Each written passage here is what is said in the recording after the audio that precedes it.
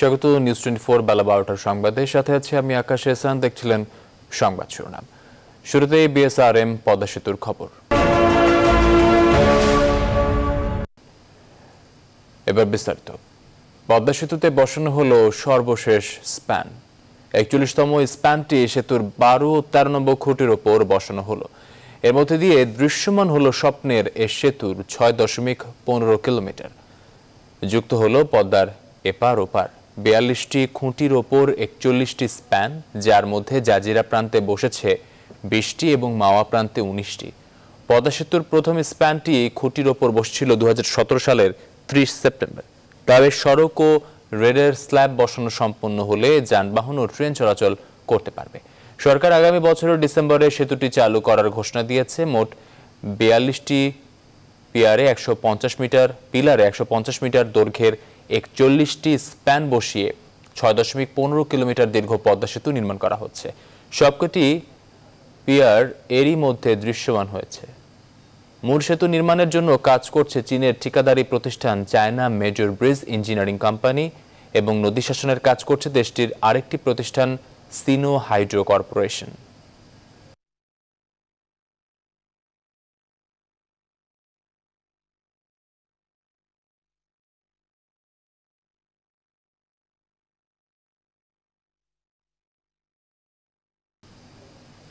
এ বিষয়ে বিস্তারিত জানাতে মামা থেকে আমাদের সঙ্গে যুক্ত হচ্ছেন সহকর্মী ফখরুল ইসলাম। ফখরুল, আপনার কাছ থেকে জানতে চাচ্ছি, স্বপ্নের পদ্মা সেতুতে আজ বসানো হলো সর্বশেষ স্প্যানটি, আমরা দেখলাম আপনি বিস্তারিত জানাচ্ছিলেন।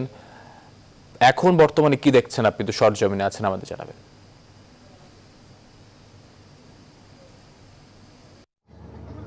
জি, ধন্যবাদ আপনাকে। সবশেষ যে স্প্যান, সেটি আসলে বসে গেছে। এখন আসলে এই একচল্লিশতম যে সুপার স্ট্রাকচার শেষ সুপার স্ট্রাকচার সেটি সংযোগের যে সবশেষ কর্মকাণ্ড, সেটি আসলে, সেটিও এখন অনেকটা শেষ পর্যায়ে।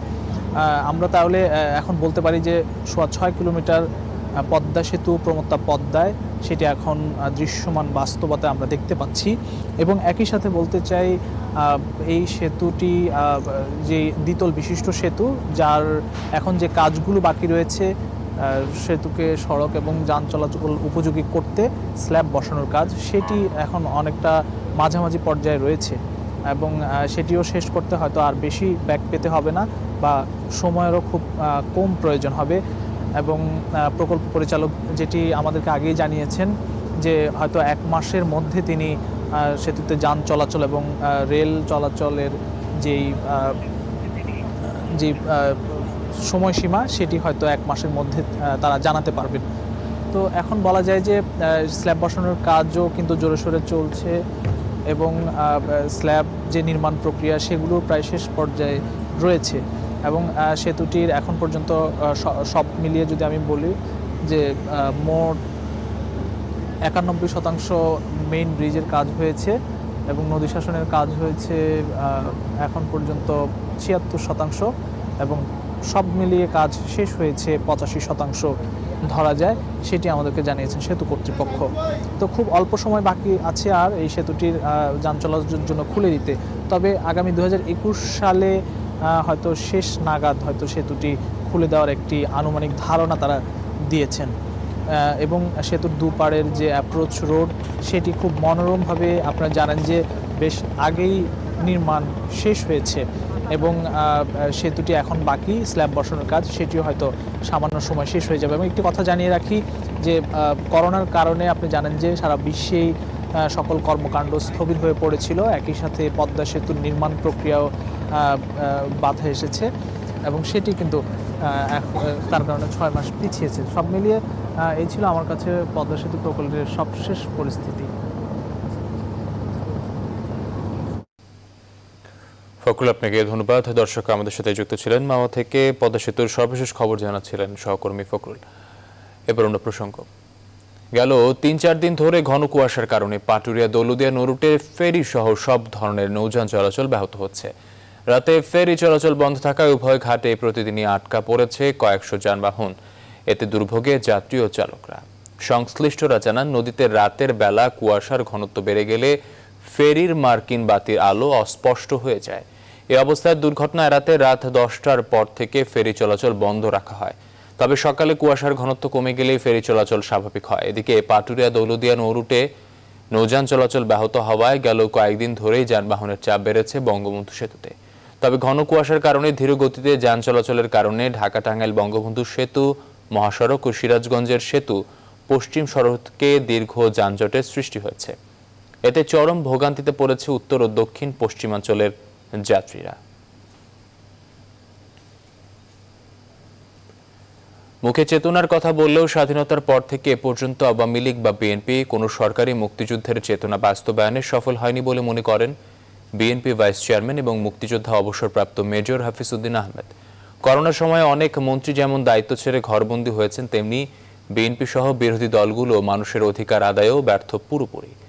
বিস্তারিত তহিদ শান্তর প্রতিবেদনে। সেদিন জুলাই মাসের শেষ দিন, একত্রিশে জুলাই উনিশশো একাত্তর, জামালপুর জেলার বক্সিগঞ্জ উপজেলা।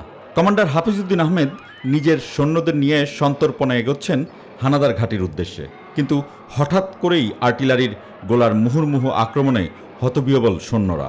হাফিজউদ্দিন আহমেদ সৈন্যদের কাভার দিতে সবার সামনে চলে আসেন।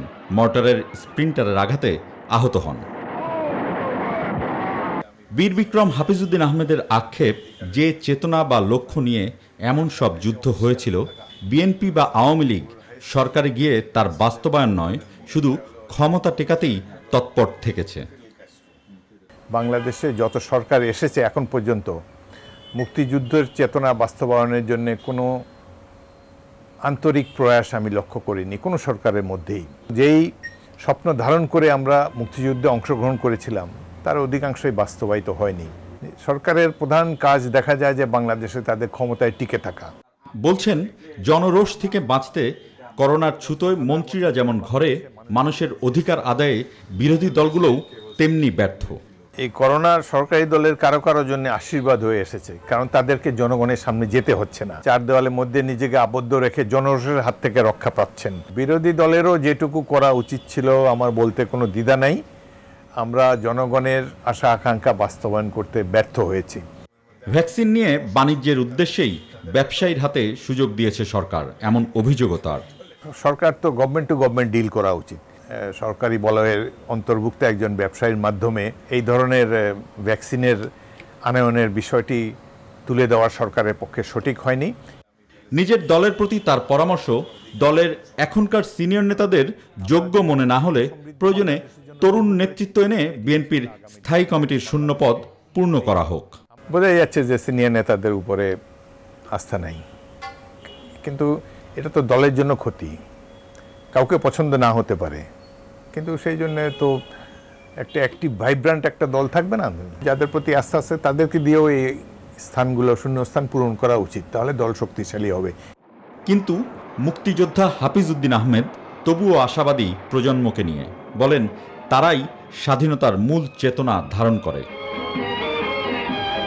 Touhid Shanto News Twenty Dhaka. এবারে গৌরবের ডিসেম্বর প্রসঙ্গ।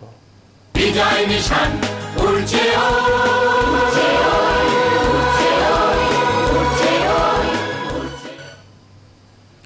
মুক্তিযুদ্ধের সময় একদল সাংস্কৃতিক কর্মী ট্রাকে করে ঘুরে বেড়াতেন শরণার্থী শিবিরগুলোতে। গান গেয়ে মুক্তিযোদ্ধাদের অনুপ্রেরণা দিতেন। তাদেরই একজন শারমিন মোর্শেদ। তিনি জানান, অস্ত্র হাতে যুদ্ধ করা অনেক নারী পাননি, মুক্তিযোদ্ধার সম্মাননা। তাদেরকে খুঁজে বের করে সেই সম্মান জানানোর আহ্বান তার। অন্তরা বিশ্বাসের প্রতিবেদন। একাত্তরের পঁচিশে মার্চের রাতে শারমিন মোর্শেদ বেঁচে গিয়েছিলেন। পাকিস্তানি সেনারা তাদের বাড়িতে না ঢুকে এলাকার অন্য বাড়ির সদস্যদের হত্যা করেছিল। এরপর তারা চলে যান ভারতে। সেখান থেকে বাড়ির সকল সদস্য কোনো না কোনোভাবে যুক্ত হন মুক্তিযুদ্ধের সাথে। ছজন সদস্যের মধ্যে আমি হচ্ছে সেই খুদে যোদ্ধা যে গানের সাথে যুক্ত হলো। রণাঙ্গনে যখন তুমুল যুদ্ধ চলছে, শারমিন মোর্শেদরা তখন ট্রাকে করে ঘুরতেন শরণার্থী শিবিরগুলোতে। সাহস দিতেন সাধারণ মানুষকে, লড়াই সংগ্রামে অনুপ্রাণিত করতেন মুক্তিযোদ্ধাদের। তাদের একমাত্র অস্ত্র ছিল গান। রক্ত নেশায় উঠেছে মাতিয়া, খেলিতেছে তারা হোলি। অবাক নয়নে দেখছে বিশ্ব, দিচ্ছে কেমন প্রাণ। বোমারু বিমান, মেশিন গান, তুচ্ছ করে কামান। কদম কদম এগিয়ে চলেছে গাহি বাংলার গান। জয় বাংলার গান। বাংলাদেশ মুক্তি সংগ্রামী শিল্পী সংস্থা তখন নানা ধরনের কর্মে ব্যস্ত ছিল। সেসব কাজের একটা অংশ ছিল মুক্তিযুদ্ধের গান গেয়ে বেড়ানো। সেই সব দৃশ্য ক্যামেরায় ধারণ করেছিলেন তরুণ মার্কিন বিজ্ঞাপন নির্মাতা লিয়ার লেভিন। লিয়ার লেভিন যে আমাদের সাথে যুক্ত হলো ওটাও কিন্তু ছিল একটা বেশ একটা স্ট্রাগল শারমিন মোর্শেদ পেয়েছেন মুক্তিযোদ্ধার সম্মান কিন্তু তার চেনা অনেকেই অস্ত্র হাতে যুদ্ধ করেছেন কিন্তু মুক্তিযোদ্ধার সার্টিফিকেট পাননি। আমি কটা গান করেছি, সেটার স্বীকৃতি আমি পেয়েছি। আমি বিনম্র চিত্তে সেটা গ্রহণ করছি। আমি খুব গর্বিত, আমি খুব কি বলব, আমি খুব কৃতজ্ঞ যে আমাকে স্মরণ করেছে। কিন্তু আমার চাইতে অনেক বড় মাপের মুক্তিযোদ্ধা সেই মাটি। আমার চাইতে অনেক বড় মাপের মুক্তিযোদ্ধা বিথিকা। আমার চাইতে অনেক বড় মাপের মুক্তিযোদ্ধা সেই কনক শিশির কণা, শোভা, পারভিন। আমরা তো তাদেরকে সেই সম্মানটা দিতে পারলাম না। তিনি বলেন কষ্টে অর্জন করা স্বাধীনতাকে রক্ষা করার দায়িত্ব তরুণ প্রজন্মের। একাত্তরের যুদ্ধটা একরকম এখনকারটা অন্যরকম। পাক পশুদের মারতে হবে চলো রে নাও ধাইয়া। নৌকা এবার চলে মোদের যুদ্ধের সামান লইয়া। অন্তরা বিশ্বাস নিউজ টোয়েন্টি ঢাকা। সংবাদ নিচ্ছে একটি বিরতি সঙ্গে থাকুন।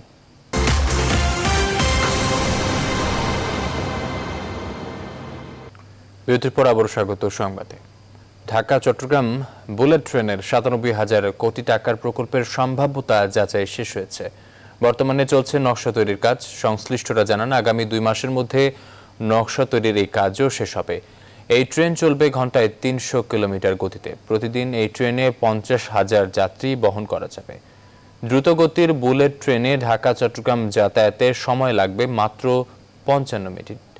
এই ট্রেন চালু হলে পাল্টে যাবে চট্টগ্রাম ঢাকার যোগাযোগ ব্যবস্থার চিত্র।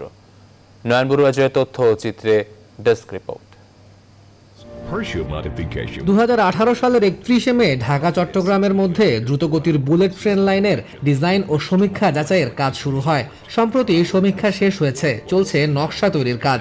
অর্থ বরাদ্দ পেলেই শুরু হবে বুলেট ট্রেনের রুটের নির্মাণ কাজ। প্রায় এক ঘন্টায় ঢাকা থেকে চট্টগ্রাম জার্নি করা যাবে। চালু হলে যদি তিনশো কিলোমিটার স্পিড হয়, মাঝে যদি একটা স্টেশন ধরে, তাহলে কিছু লস হলেও অনাবারেজ এক ঘণ্টা। দ্রুতগতির এই রেলপথ হবে উন্নত ও ডাবল ট্র্যাকের এছাড়া পাথরহীন এই রেলপথটি হবে বাংলাদেশ রেলওয়ের প্রথম বিদ্যুৎ চালিত রেলপথ। প্রকল্পটির জন্য ছয়শো আটষট্টি দশমিক দুই চার হেক্টর জমির প্রয়োজন হবে। তাই এটি বাস্তবায়নে বাংলাদেশ রেলওয়েকে চারশো চৌষট্টি দশমিক দুই হেক্টর জমি অধিগ্রহণ করতে হবে। এই বুলেট ট্রেন চলবে ঘন্টায় তিনশো কিলোমিটার গতিতে। এই ট্রেনে কোনো বিরতি ছাড়াই ঢাকা চট্টগ্রাম যাতায়াতের সময় লাগবে কেবল পঞ্চান্ন মিনিট। বুলেট ট্রেনটি চালু হলে পাল্টে যাবে চট্টগ্রাম ও ঢাকার যোগাযোগ ব্যবস্থার চিত্র। চায়নার মতো শর্ট টাইমে ঢাকা টু চিটাগাং যেতে চাই। এটা মনে করি আমাদের উন্নয়নের একটা অংশ। এতে ব্যবসা বাণিজ্য এবং বিভিন্ন প্রকার সামাজিক কাজটা এগুলো সুন্দর ও সুচারুরূপে হবে। চট্টগ্রাম বিভাগের সকল নাগরিকে চাই বুলেট ট্রেন চালু হোক। এই প্রকল্পের জন্য আনুমানিক ব্যয় হবে প্রায় এগারো দশমিক চার বিলিয়ন ডলার বাংলাদেশি টাকায় যার পরিমাণ দাঁড়ায় ছিয়ানব্বই হাজার সাতশো বান্ন কোটি টাকা. ডেস্ক রিপোর্ট নিউজ টোয়েন্টি আজ বিশ্ব মানবাধিকার দিবস মানুষের অধিকার রক্ষা উন্নয়নের লক্ষ্যে উনিশশো পঞ্চাশ সালে জাতিসংঘ দিবসটির ঘোষণা দেয়। প্রতি বছর বিশ্বজুড়ে দিবস পালন হলেও সত্তর বছরে দেশে দেশে অনেক ক্ষেত্রেই মানুষের অধিকার রক্ষা করা সম্ভব হয়নি। বাংলাদেশও তার ব্যতিক্রম নয়। অন্তরা বিশ্বাসের প্রতিবেদন। বিশ্বব্যাংকের হিসাবে দুই কোটি একচল্লিশ লাখ হতদরিদ্র মানুষ আছে বাংলাদেশে। ট্রান্সপারেন্সি ইন্টারন্যাশনাল বাংলাদেশ বলছে, দুর্নীতিতে বিশ্বে বাংলাদেশের অবস্থান চোদ্দতম। ধর্ষণের সংখ্যা বাড়ছে প্রতি বছর, চুরি, ছিনতাই, অপরাধের সংখ্যাও কমছে না। প্রায় সাঁত্রিশ লাখ মামলা বিচারাধীন। আর বিচারহীনতার সংস্কৃতি বাংলাদেশে কোনো নতুন শব্দ নয়। দারিদ্র দুর্নীতি, সহিংসতার এই দেশে তাই মানবাধিকার লঙ্ঘিত হয় বারবার। এভাবেই বলছিলেন মানুষের জন্য ফাউন্ডেশনের নির্বাহী পরিচালক। শাহিনা নাম যারা দুর্বল, যারা প্রান্তিক তাদেরই কিন্তু মানবাধিকার বেশি লঙ্ঘন আছে। একটা জবাবদিহিতা এবং সততার একটা অভাব আমরা দেখতে পাই। এবং আমরা, আমাদের কথা হলো যে সুশাসনের অভাবে মানুষের মানবাধিকার লঙ্ঘন হয়। সুশাসন এবং মানবাধিকার, এটা কিন্তু পাশাপাশি যায়। তারপরও বিচার চায় মানুষ। বিচার হয়ও, তবে সবার নয়। স্কুলে যায় বেশিরভাগ শিশু, কিন্তু সবাই নয়। শাসনযন্ত্র ন্যায়ের পক্ষে, কিন্তু তা সবার জন্য প্রযোজ্য নয়, বললেন আইন ও সালিশ কেন্দ্রের পরিচালক নূর খান। বাংলাদেশের মানবাধিকার পরিস্থিতি ক্রমান্বয়ে উদ্বেগ থেকে আরও বেশি উদ্বেগের কারণ হয়ে দাঁড়াচ্ছে। রাষ্ট্রের তরফ থেকে এটি নিরসনের জন্য বা এই হিউম্যান রাইটস সিচুয়েশন মানবাধিকার সংরক্ষণের জন্য, মানবাধিকার রক্ষার জন্য তাৎপর্যপূর্ণ, দৃশ্যমান পদক্ষেপের অভাব আমরা লক্ষ্য করছি। তিনি আরও বলেন, দেশের রন্ধ্রে রন্ধ্রের দুর্নীতি, না পাওয়ার হাহাকার, হতাশা, প্রতিবাদে বাধা, সব মিলিয়ে ডেকে আনতে পারে বড় ধরনের ক্ষোভ। হতে পারে তার বিস্ফোরণও। তাই অনেক ভালোর এই দেশে খারাপগুলোকে স্তব্ধ করে বিশ্ব মানবাধিকার দিবসে নতুন উদ্যমে পথ চলার আহ্বান বিশেষজ্ঞদের। অন্তরা বিশ্বাস নিউজ টোয়েন্টি ঢাকা। কুড়িগ্রামে প্রতি বছরই নদী ভাঙনে নিঃস্ব হয়ে পড়ছে, করে পাঁচ হাজার পরিবার। এই পরিবারগুলোকে তাৎক্ষণিক সহায়তা দেওয়া হলেও স্থায়ী পুনর্বাসন কার্যক্রম সীমিত। এই কারণে উঁচু বাঁধ, রাস্তা অন্যের জমিতে আশ্রয় নিয়েছেন অনেকে। ভিটে মাঠে হারিয়ে পরিবার পরিজন নিয়ে মানবেতর জীবনযাপন করছেন ভাঙন কবলিতরা। এ অবস্থায় স্থায়ী পুনর্বাসনের দাবি জানিয়েছেন তারা। হুমায়ুন কবির সূর্যর তথ্য ও চিত্রে ডেস্ক রিপোর্ট। কুড়িগ্রামে ব্রহ্মপুত্র ধরলা তিস্তা, দুধকুমার ও জিঞ্জিরাম এই পাঁচ আন্তঃনদ নদীসহ মোট ষোলো নদ নদীর প্রতিটি কম বেশি ভাঙন প্রবণ শুধু বর্ষায় নয়, শুষ্ক মৌসুমেও ভাঙন দেখা দেয় এসব নদ নদীতে। এবারও তার ব্যতিক্রম হয়নি। জেলা ত্রাণ ও পুনর্বাসন দপ্তরের তথ্য মতে গেল ছয় মাসে নয় উপজেলায় নদী ভাঙনে ভিটেমাটে হারিয়ে নিঃস্ব হয়েছে ছয় হাজারেরও বেশি পরিবার। এসব পরিবার সড়ক বাঁধ ও অন্যের জমিতে কোনো রকমে মাথা গুজে মানবেতর জীবনযাপন করছে। জায়গা জমি ছিল ভিটে বাড়ি ছিল সব নদীতে ভাঙে গেছে। এখন কোনো আশ্রয় না পেয়ে এখানে আসি ভাড়াটি জায়গায় আসি। আবাদ কিস্তি করি খামো তার জায়গা নাই। দাঁড়ায় থাকব তার জায়গা নাই বসি থাকব তার জায়গা নাই। নদী ভাঙনে ক্ষতিগ্রস্তদের স্থায়ী পুনর্বাসনের দাবি জানিয়েছেন স্থানীয় জনপ্রতিনিধি। এই সকল পরিবারকে আর্থিক সহায়তা সহ তাদেরকে পুনর্বাসনের ব্যবস্থা করা এবং মানব মাননীয় প্রধানমন্ত্রী যে গুচ্ছগ্রাম আবাসন আছে এর মাধ্যমে এই সকল পরিবারকে পুনর্বাসন করা হলে তারা মাথা গোজার ঠাই খুঁজে পাবে। বিভিন্ন প্রকল্পের মাধ্যমে নদী ভাঙনে ক্ষতিগ্রস্তদের স্থায়ী পুনর্বাসনের চেষ্টা চলছে বলে জানান সংশ্লিষ্টরা। আর্থিক অনুদানের একটা সহায়তা আসার কথা যা আসবে সেই অনুযায়ী সরকারের নিয়ম মেনে সেটা আমরা বাস্তবায়ন করার জন্য যা করা লাগে তাই করব। ভাঙন কবলিতদের স্থায়ী পুনর্বাসন সহ সব ধরনের সহায়তা করবে সরকার এমন প্রত্যাশা এলাকাবাসীর। Desk report News Twenty Four. সংবাদ রিপোর্ট জানিয়েছে আরও একটি বিরতির সঙ্গে থাকুন। বিরতির পর আবার স্বাগত সংবাদে, এবার আন্তর্জাতিক প্রসঙ্গ। ব্রিটেন ও বাহরাইনের পর এবার কানাডাতেও চূড়ান্ত অনুমোদন পেল ফাইজার ও বায়োএনটেকের করোনা ভ্যাকসিন। বুধবার অনুমোদন দিয়েছে দেশটির কেন্দ্রীয় স্বাস্থ্য সংস্থা হেলথ কানাডা। এদিকে জরুরি ব্যবহারের জন্য ভারতে এখনও ছাড়পত্র পায়নি, সেরাম ও ভারত বায়োটেকের উদ্ভাবিত টিকা।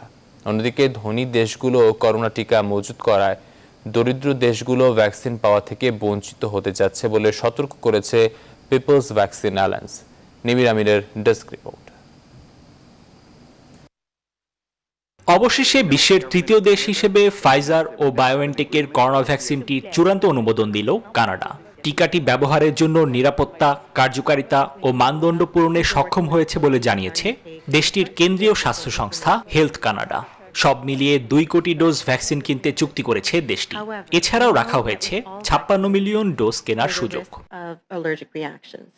বুধবার মার্কিন শীর্ষ সংক্রামক রোগ বিশেষজ্ঞ অ্যান্থনি ফাউসি জানিয়েছেন ফাইজার টিকা গ্রহণের ক্ষেত্রে পার্শ্ব প্রতিক্রিয়ার মুখোমুখি হতে প্রস্তুত থাকতে হবে অ্যালার্জি রোগীদের।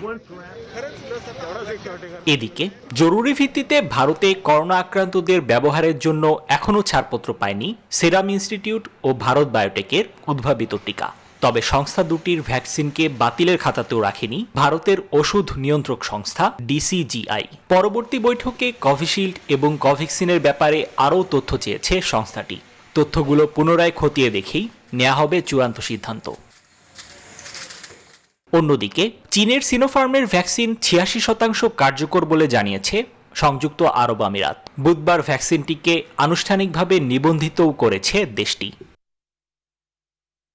তবে টিকার প্রচারণা বিষয়ক জোট পিপলস ভ্যাকসিন অ্যালায়েন্স দিয়েছে নতুন এক সতর্ক বার্তা বিশ্বজুড়ে করোনা টিকার মজুদ গড়ে তুলতে ধনী রাষ্ট্রগুলো নেমে পড়েছে তুমুল প্রতিযোগিতায়, যার ফলে এই ভ্যাকসিন প্রাপ্তি থেকে বঞ্চিত হবে অপেক্ষাকৃত দরিদ্র দেশগুলো।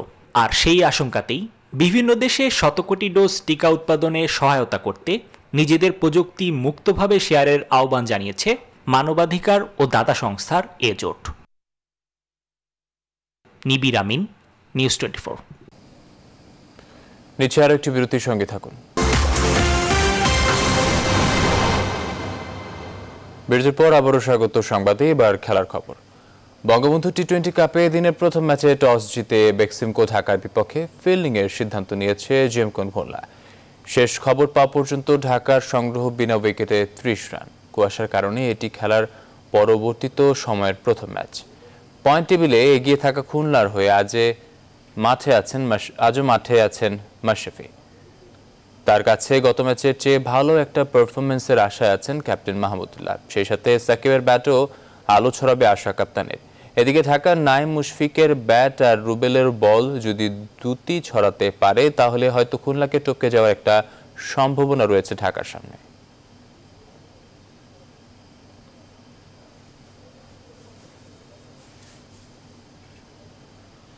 দর্শক এই ছিল এখনকার আয়োজনে। এতক্ষণ সাথে থাকার জন্য ধন্যবাদ সবাইকে।